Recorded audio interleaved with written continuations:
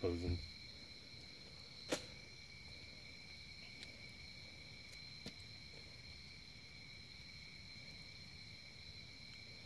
Just gonna sit there